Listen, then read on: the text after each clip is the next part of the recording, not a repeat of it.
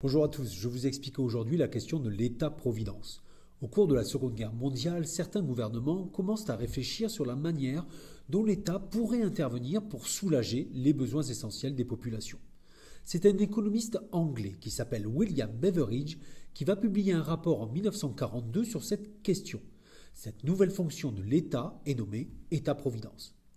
L'État-providence désigne le fait que l'État doit mettre des moyens en place pour protéger les plus faibles dans la population et assurer ainsi la justice sociale à tous les citoyens. En France, la mise en place de l'État-providence apparaît très nettement dans le programme du CNR, c'est-à-dire du Conseil national de la résistance, publié le 15 mars 1944.